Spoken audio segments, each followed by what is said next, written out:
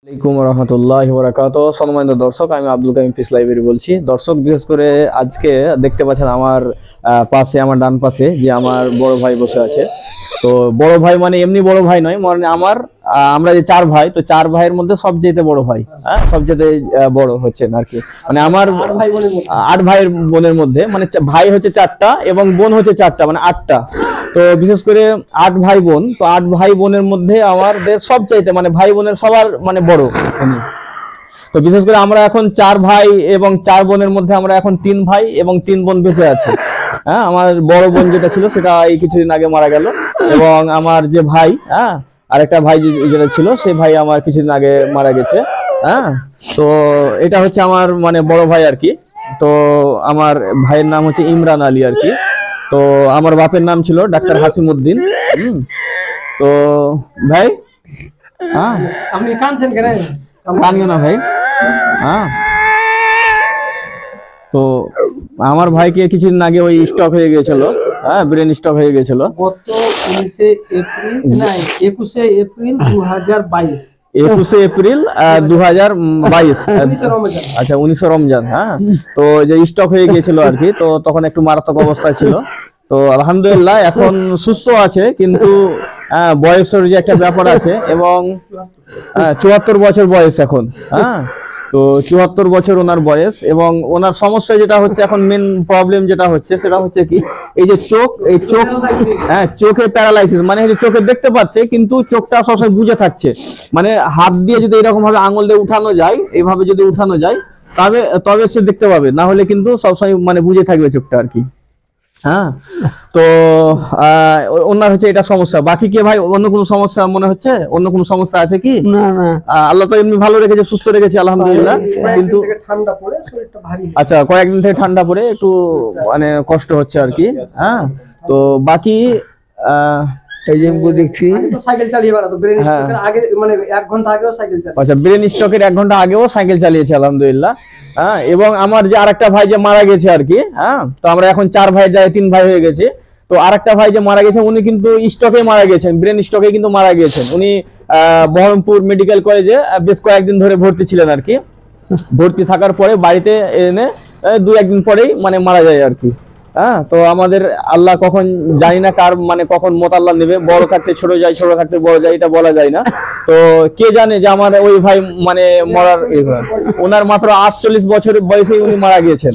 হ্যাঁ তো আলহামদুলিল্লাহ আমার এই ভাইকে আল্লাহ আহ, মানে স্টক মানে দেওয়ার পরে কিন্তু আলহামদুলিল্লাহ সুস্থ রেখেছে মানে রিভার্স হয়ে গেছে মানে পুরোপুরি এখন ভালো হয়ে গেছে কিন্তু এই চোখটার এই সমস্যা। হ্যাঁ তো ভাই তুমি বিশেষ করে আমাদের যে পুরাতন কিছু স্মৃতিগুলো বা তোমার এই ব্যাপারে কিছু বলো আমাদেরকে। মানে এখানে অনেক মানুষই আমাদেরকে দেখবে হ্যাঁ? তো কিছু বলো তুমি। হুম? কি বলব আমি?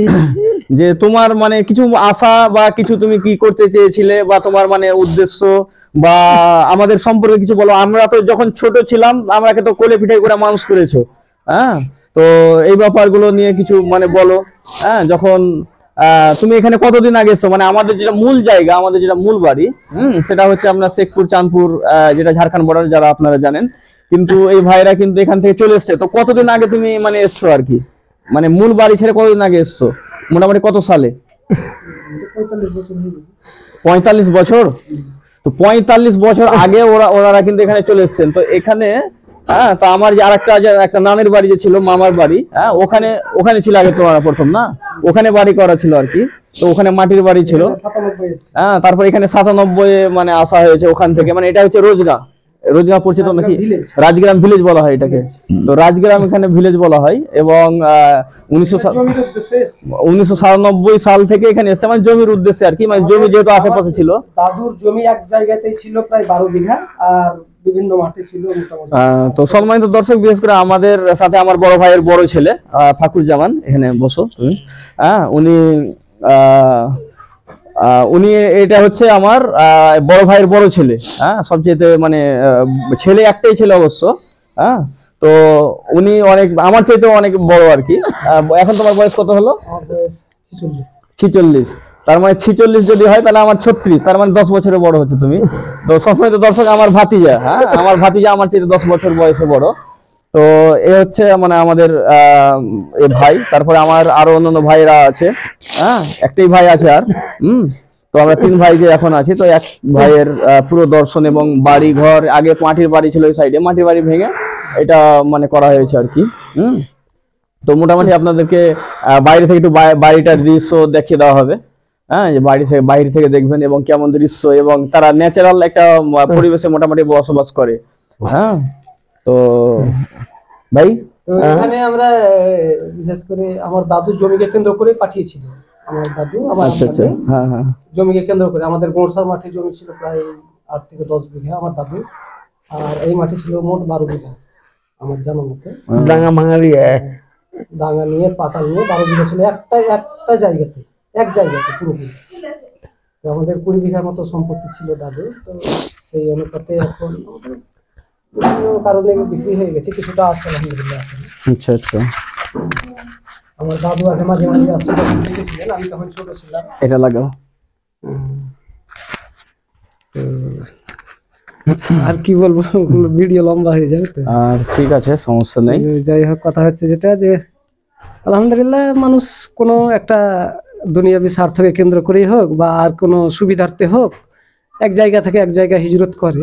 আমরাও আল্লাহ রহমতে একটা মহা উদ্দেশ্য নিয়ে দিনী পরিবেশের জন্য হিসাবগুলো হলে আরও ভালো হয়। হ্যাঁ দিনই পরিবেশের জন্য হিজরত করলে আরও বেশি ভালো হয়। তো যাই হোক আলহামদুলিল্লাহ যে পরিবেশে আছে আমাদের কোনো সমস্যা নেই। যদিও আমরা এখানে একাই আছি আমাদের কোনো বংশীয় আত্মীয় আহ, কোনো ধরনের এখানে লোক নেই। হ্যাঁ এখানে ওরা ভিন্ন পরিবেশের লোক, তবে ওনারাও মুসলিম, আমাদের মতোই আহরুল হাদিস মুসলিম ওনারাও, আলহামদুলিল্লাহ। আমাদের বসবাসের কোনো সমস্যা নেই এখানে। চলতে, বলতে, ফিরতে কোনো সমস্যা আল্লাহর রহমতে হয় না এখানে। তবে বর্তমানে জমিগুলো আমাদের বিভিন্ন কারণে আমরা একটা লরি কিনেছিলাম, সেই কারণে বিক্রি হয়ে গেছে। তো তো আমাদের এই সাইডে জমি জায়গা ছিল প্রচুর জমি জায়গা ছিল। এখনও কিছু কিছু আছে। কিছুটা আছে। এখনও পাহাড়ে কিছু জায়গা আছে। আছে, হ্যাঁ হ্যাঁ, কখনো সুযোগ হলে ইনশাল্লাহ ওগুলো ঘুরবো হ্যাঁ, এবং আজকে হয়তো সময় হলো না আজকে তো সময় শেষ হয়ে গেল দিন মানে। হ্যাঁ। ইনশাল্লাহ ওগুলো আমরা দেখাবো। আমাদের জঙ্গল আছে আমাদের নিজস্ব জঙ্গল আছে। হ্যাঁ সেগুলো দেখাবো। আমার এই ভাই হ্যাঁ এই ভাই অনেক কষ্ট করে করে করে সে পাটালের জঙ্গলটা তৈরি করল। এবং তার যে আশা যে আমি গাড়ি কিনবো চার্চেস কিনবো এবং কত যে আশা করল তারপর একবার ভাই গাড়িও কিনেছিল। হ্যাঁ একবার ছ চাকার একটা গাড়ি কিনেছিল হ্যাঁ। আমরা এই এলাকার মধ্যে প্রথম গাড়ি কিনেছি। তো এলাকার মধ্যে আমাদের মানে প্রথম গাড়ি মানে হ্যাঁ। তো মানে এটা অনেক আগে হয়ে গেল তো না? হ্যাঁ, আমরা বিরানব্বই সালে গাড়ি কিনেছি।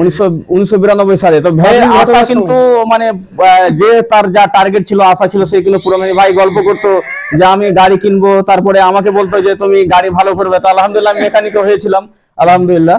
হ্যাঁ যে তুমি গাড়ি ভালো করবে এই করবে এই যে বিভিন্ন ভাই আশামূলক এবং এমন এমন কথা বলতো আমাদেরকে ছোটদের গল্পগুলো শোনাতো।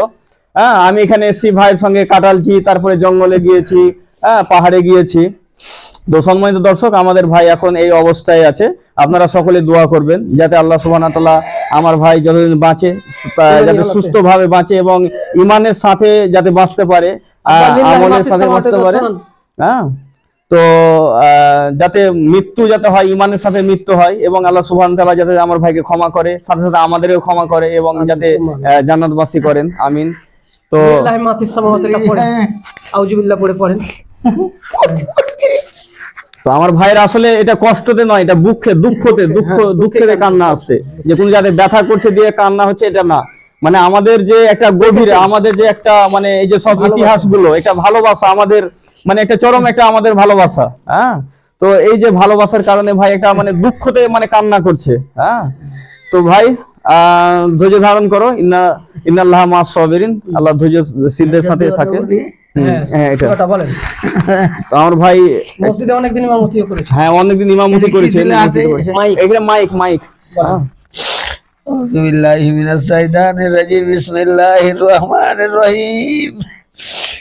लिल्लाहि मा भी समावाति मा भी लर्जे मा इंतुम तो मा भी अनबसेकुम और तो वो यो आज़म कुम्बे हिला हो भाई अकबरुले मैया साहब वाई वाजिब मैया साहब वल्लाह वाला कुल्ले साइन कदीर आमान रसूल बिमा उनजिला इलैहि मिन रब्बि और मुमिनून कुल्लु नमाना बिल्लाहि व मलाइकातिहि व कुतुबिहि व रसूलिहि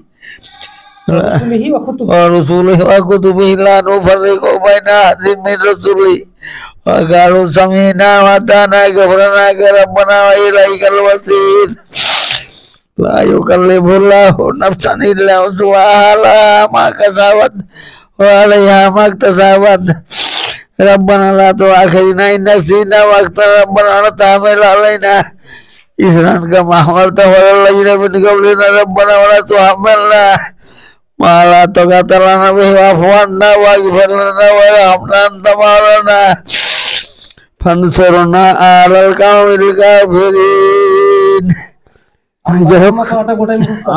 আম্মা পাড়া হ্যাঁ, আছে। আলহামদুলিল্লাহ। তো মসজিদে ইমামতি অনেকদিন ধরে করেছেন আমার ভাই।